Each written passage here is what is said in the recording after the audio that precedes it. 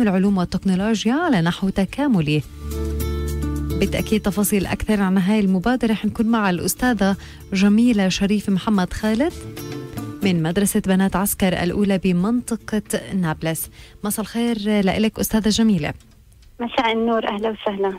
أستاذة جميلة أعطينا وصف موجز للمبادرة وعن دوافعها. تمام. المبادرة كانت زي ما حضرتك حكيتي تعليم التكاملي لمادة الفيزياء بين العلوم والتكنولوجيا التاسع نعم. آه، التعليم التكاملي بشكل عام هو نظام يؤكد على دراسة المواد متصلة ببعضها البعض لإبراز علاقة واستغلالها لزيادة الوضوح والفهم وتجنب التكرار. آه، التعليم ممكن التكامل يكون بين مراحل مختلفة مثلا تاسع وعاشر بين تاسع وثامن وممكن يكون بنفس المرحلة ولكن بين مباحث نفس المرحلة زي ما إحنا عملنا بين مبحثي العلوم والتكنولوجيا كان الهدف من المبادرة إنه أنا وزميلتي رجاء علان هي مبادرة مشتركة بيننا.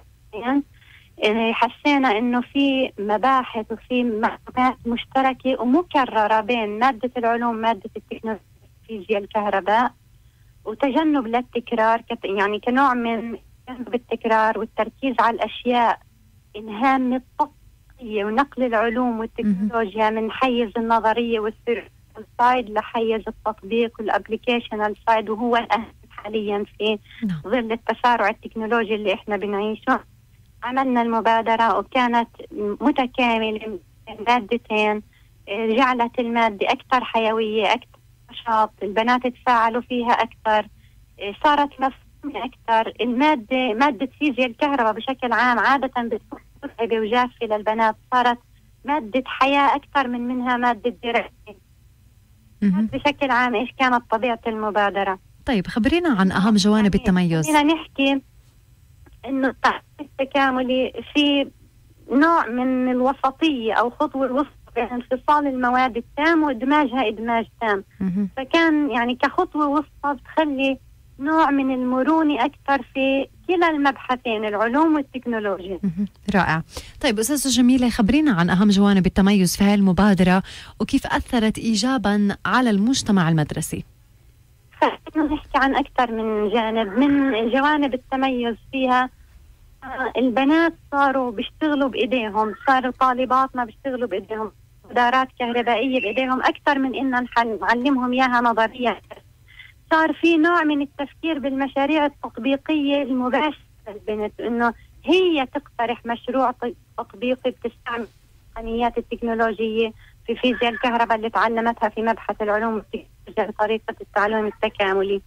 من الميزات إنه أنا حتى أنا وزميلتي آه، بكرر هي مبادرة مشتركة بين زميلتي رجاء علان أنا وياها كان في بيننا تكامل واضح حتى بيني وبينها كمعلمات نكمل خبرة تكملها وخبرتها تكملني.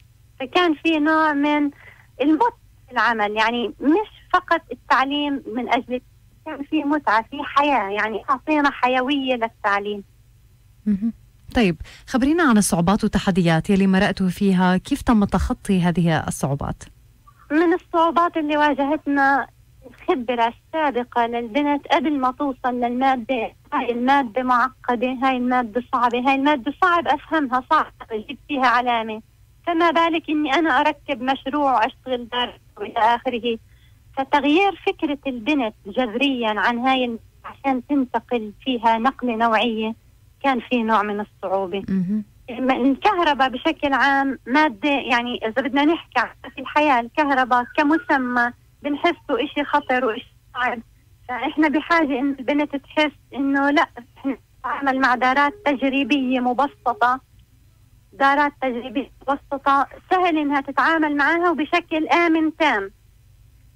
التكامل حتى مع الأسرة إن نبعث لهم يعملوا نشاط تقرأ عدد الكهرباء في بيتها تحاول تستعمل القوانين الفيزيائية الموجودة خلال هذا الحكي. فكان يعني في صعوبات بس الحمد لله واجهناها من الصعوبات اللي واجهناها إنه في نصاب مخصص من الحصص لمادة العلوم في نصاب مخصص من الحصص التكنولوجيا التكنولوجيا لها حصتين اسبوعيا العلوم أربع حصص اسبوعيا. نعم. بالوقت اللي أنا بكون في حصص العلوم زي في حصص التكنولوجيا هذا الحكي ساعدتنا في التغلب عليه المدرسة من خلال وضع برنامج بيساعدنا على تطبيق المبادرة بطريقة سلسة. فلا طيب. شك أنه نجاح أي مبادرة بتضافر جهود من المعلم من الأهالي من الطلاب من الإدارة المدرسية طبعا. من جميع الجهات.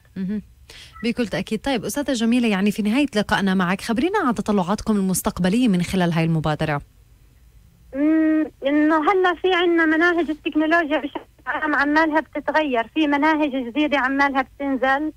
إنها كلياتها فيها مواضيعها جديدة تماما في digital world تحتوي على دارات مش كهربائية دارات إلكترونية دقيقة فيها ترانزستورات و diode و LED وإلى آخره. نعم. فهاي المادة بحاجة لنوع جديد من المبادرات من جديد نوع من التفكير وتضافر الجهود عشان نعطيها صح وعشان توصل للبنات صح وللطلاب بشكل عام مش بس البنات صح؟